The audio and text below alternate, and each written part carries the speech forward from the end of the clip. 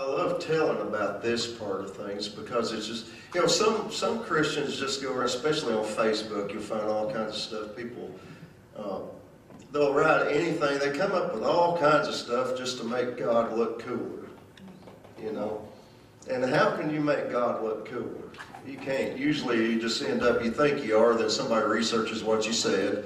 They find out you was full of you know what. and, and then they then that just gives them another reason why not to trust Christians, you know, and to believe anything a Christian would say because we're trying to make God seem cooler than what he is. And, and he don't need help with that. I mean, he just don't need any help. He's amazing. And uh, but uh, there's a neat thing, and, and you can you, you can do all the research you want to on this. I mean, I can just tell you this openly: wear yourself out, and you'll find I'm telling you the truth. Uh, they have discovered years, I don't know, probably 15, 20 years ago, I guess, that uh, that uh, we're, you know, our our DNA, which every one of us has, is different. Every, everybody has, you know, it's like your fingerprint of God on your life. Uh, no one has your DNA. You can be spotted, you know, I mean, they'll pinpoint you down to, out of all the billions of people on earth, they can tell you're you by your DNA. And that's because God made you that way. Well, one of the cool things about DNA is that they discovered that your, your, uh, your DNA is basically a musical encode, encoding. It's uh, if they take the, what looks like this, oh, you you've seen all that junk, you know, and I can't tell you what's what on that. You know. But I can tell you this, they can string that thing out in a straight line and it's a song. And it's amazing. And uh, you put that in a computer, and you can have this done now. Technology's so wonderful now. You can you can send your DNA off, and they'll they'll send you your song. It sings, sounds like a ringtone. I mean, it's like a piano sound, which is a shame. I thought it should be a banjo or something. But uh, you know, it, it it's a you know you'll hear your song sounds like a little ringtone or something, you know, going on. And, uh, and so God has made us musical. From the very core of our being, He's made us musical. And, and uh, it, you know, because your DNA determines everything about your, your body. The shape of your nose, everything that God made you to be is encoded in your, in your DNA. And the cooler thing about that is that equals a song. You're a song that God wrote. and uh, that's why when you hear music, you know, your foot start, starts responding and tapping the music, or you start getting that little groovy thing going, or you start humming along, or, you know, different things happen because you are made musical. And I've seen God do stuff with music, and, and especially in the worship realm, you know, when you're worshiping with it. See, the, the there, uh, there was a time when, when uh, King Saul was, was going around, you know, and then Samuel came to him and said, you know, the prophet Samuel, if you don't know the Bible, he was a prophet.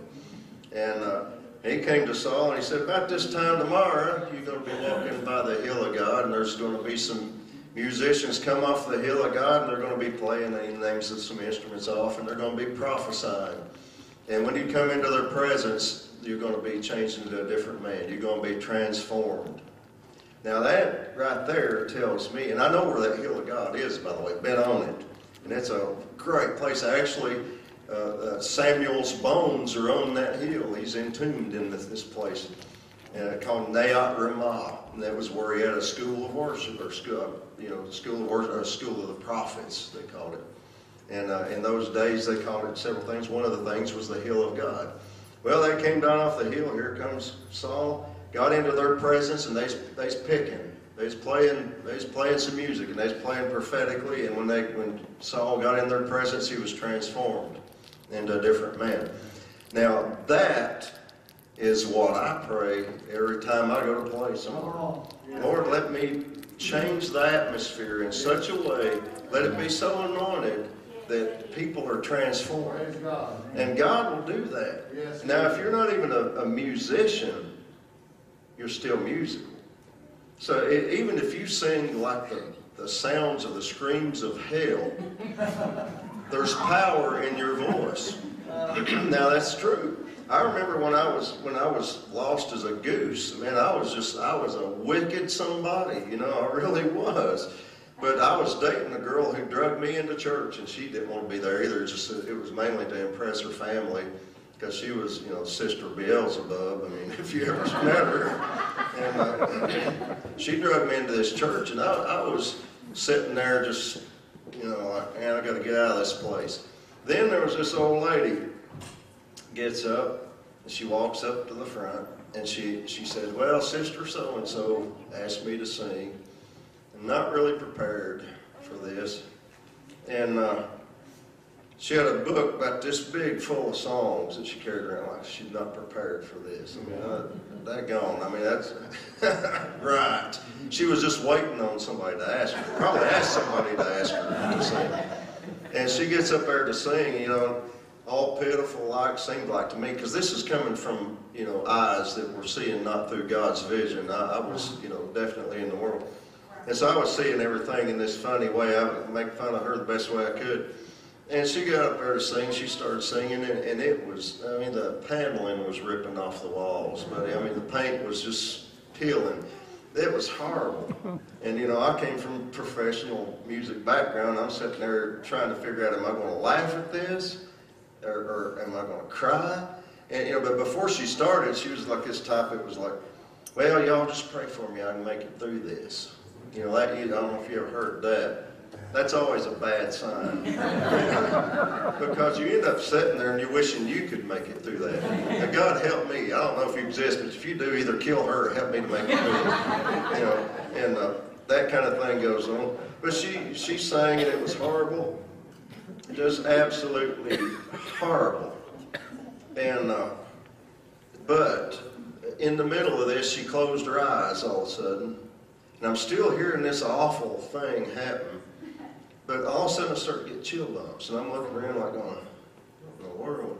You know, who turned the air conditioning on? You know, that's that awful voice is still going on. But see, what I didn't know, she closed her eyes and started singing to the Lord. Now, it's still the most pathetic voice you ever heard. But when you are singing or playing or whatever you're doing, uh, up to the Lord, yes. He ain't listening to your voice.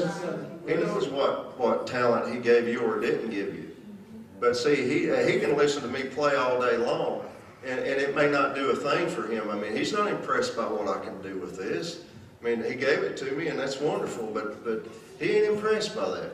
Now, what He's listening to is my heart. Come on. And that's what He's listening to. So you're musical. And, and, uh, and I'm not telling everybody to go to to Sagebrush or Longhorn, whatever, steakhouse and, and start singing in the middle of a crowd just to see what you can do, you might get run off. But uh, there's times when your voice is just as powerful, or if you play one of these, I mean, it, it's as powerful as mine if your heart's aiming it up. Yeah. You may be able to not, do nothing but squeak, but, but if you're aiming it up, there's something powerful can happen because as soon as you touch his heart with it, if you touch his heart, he'll touch their hearts. And that's the way it goes. You send it up, he'll send it out. I don't know if anybody knows who Karen Wheaton is. She's a singer down in Alabama, does a bunch of stuff on TV and sings and stuff. Great lady. And you can read in the, I mean, you might hear all kinds of stuff about her being, you know, a diva and all this. It's not true. Anytime you're dealing with, with people talking about Christian folks, they're going to talk bad about them. You never see somebody talk. If you ever see a Christian guy and everybody in the world's talking good about him, watch out. Come on. You know, it's kind of, you better steer clear of that. Something's up. Right. Or liable to be, or soon will be.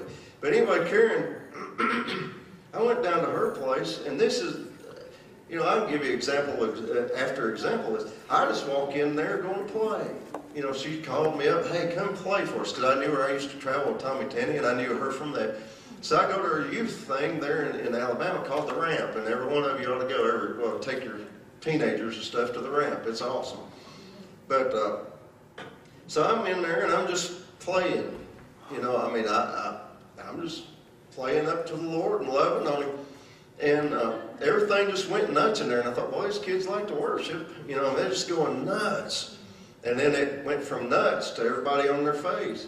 And I thought, man, these kids, I, rarely do I see adults on their face laying on the ground and worshiping, you know I mean? But these kids, they's on their face. They's lining the altar and everywhere. They's just like somebody went there with a bunch of shotguns and let loose, you know, they's all down.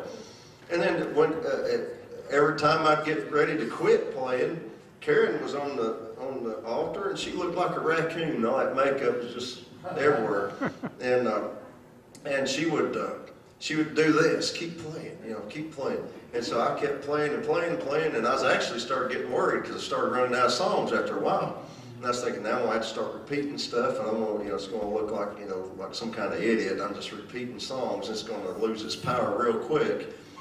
But uh, what I didn't know is, is you know, when I when I did get done, she come up to talk, and and she she pointed to a teenager, and there's everywhere, but she pointed to one. She said, "You come up here right now," and he and he came up there, and she said, uh, "Tell everybody what the Lord has done for you." And she held the microphone to his mouth, and he held his hand out, and it was shaking, you know, just like this, and he had something in his hand, and I thought. Are those eyeballs? You know, I said, what are them? You know, it's the funny looking things in his ears, uh, or in his in his hand. And uh, and he said, I used to wear these, and they were hearing aids. And he'd been this close to deaf all his life, could barely hear anything. Had his big old hearing aids, and could just barely hear something if it was really loud. So they would wear them just in case he could possibly hear something. And uh, during worship, actually during, I was playing Awesome God, which is one of my favorite songs. I was playing Awesome God because he is. And, uh, and he was out there and his ears, all of a sudden he was just like, I can't hear nothing. And it was it's loud sound, but he's wondering, why can't I hear nothing now? And he took one out thinking something was wrong with it. Bam, he could hear everything. His ears instantly opened up. And so he pulled the other one out and he went nuts. And he just went ape. That's when, uh, toward the beginning of it, when everything went nuts. He was running all over the place and everybody was, you know, I didn't know. I, had, I was just worshiping him. All I knew was, hey, there's a ruckus going on out there. I didn't know if it was a fight or what. You know, you know, it's kind of funny when you're just worshiping him and you hear something going out there and you're trying not to focus on any of that. You're trying to focus on him. You're everybody's screaming and yelling and stuff, and then next thing you know, when you do open your eyes, everybody's on the ground. You know, thinking, do I need to run? You know, somebody's done come in here and start, everybody's hiding. But, uh, you know, that stuff happens. All you got to do is be there. There's times you got to be somewhere, and then sometimes you just got to release your sound.